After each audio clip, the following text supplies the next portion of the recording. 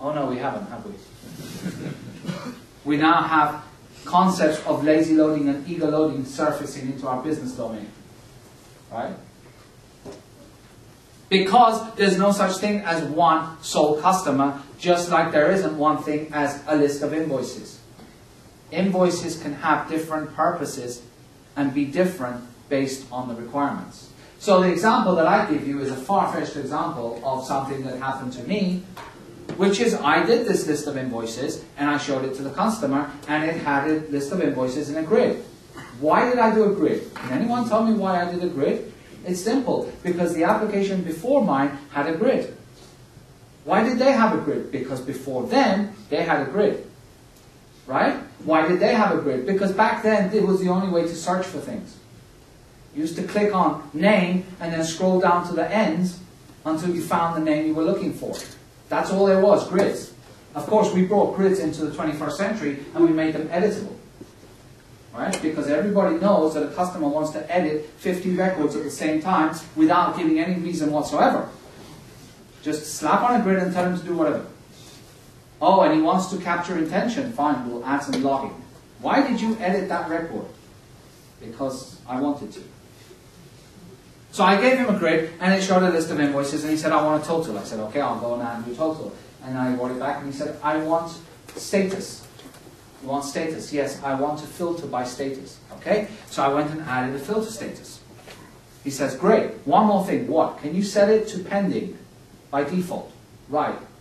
But when you think about it, what the guy wanted was a number. He just wanted to see how much money is outstanding to be paid to him.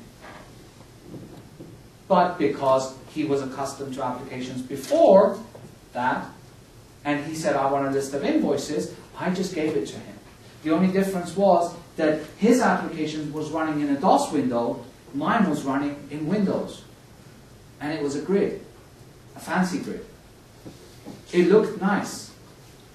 But it was doing exactly the same thing as his previous application was doing. And it wasn't my fault. Wait, it was. It wasn't his fault. Because he didn't know better. But not because he didn't know what he wanted, he just didn't know if there are better ways to do things. Because he's been so accustomed to every application, the next guy coming in and saying, Oh, you want to revamp your software? Fine, let's just see what the old one does.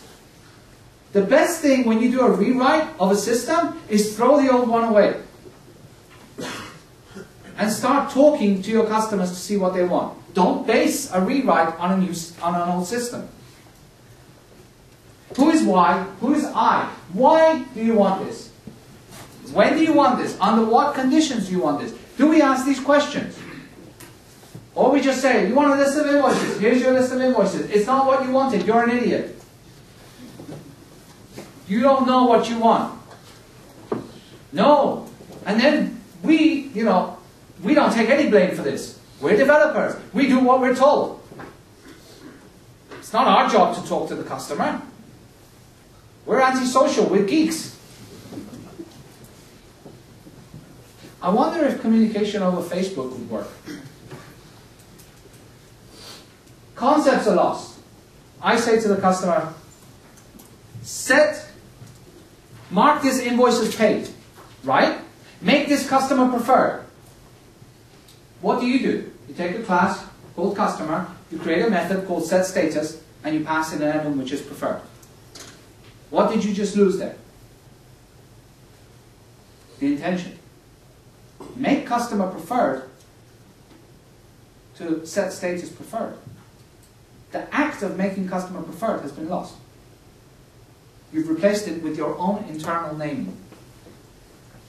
And of course, if you had the added disadvantage of not being able to talk to your customers directly, which I don't know if that's just a Spanish mentality or is worldwide, that some people are too important to talk to, so you have to go through layers, you get the Chinese whisper, which is, now it's really not what I wanted. So first of all, there's a mismatch between what the client wants and what the, what the customer, what he really gets. Okay, so think about that for a bit and let that settle in. Now let's look at something else. Dan North was teaching test-driven development as well for many years, right? And he explained the same concept of TDD being about design. He was saying to his students, TDD is about design. It's not about testing, it's about design. It's about trying to design your class. So he would teach it and then he would say, right guys, go write a method that starts with test and put some asserts in there. And he was finding that it's very difficult for certain people to grasp the concept that this is not so much about test as it, as it is about design.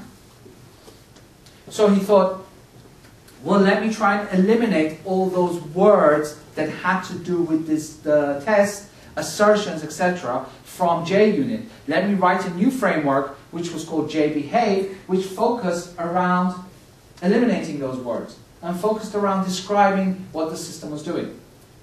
When I get a list of invoices, it will return this information, that information, that information.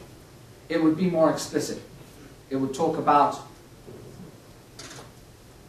exactly what the context of the test was. Context, there's a key word. It starts to introduce the concept of context. So when I have get invoice list, I have absolutely nothing. All I have is a method that says get a list of invoices. I have no context. Who is getting a list of invoices? Under what conditions are they getting a list of invoices? The context has been lost. Somewhere at the same time, there's another guy called Eric Evans, who's written a very best-selling book called Domain Driven Design. Any of you read that? Right, it's a very, very thick book, quite boring, but it's a good book. And he talks about one concept in this book, which is the ubiquitous language, which is what I was talking about earlier. When a customer says to me, make customer preferred, when a customer says to me, make mark invoices paid, I don't write code that says in my class, make invoice paid.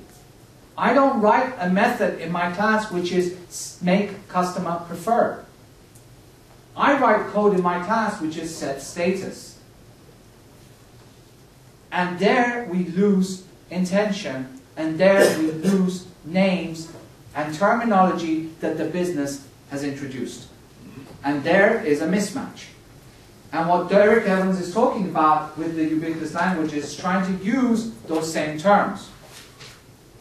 And Dan North also at the same time took a look at this and said, hey, you know what? Maybe I should do that as well when I write these tests. Maybe I should be more explicit as well. We should add context. We should use the same terminology that we are using when we define the business. Maybe we should use the same terms, the same words. And stories were being defined like this. As a role, I want a feature that provides some benefit. Now, when I work on a project, I have an Excel list, for instance, and I say, list of invoices, send emails. These are my tasks, right? Because I say this is stupid. This is silly. Why should I write a story out like this?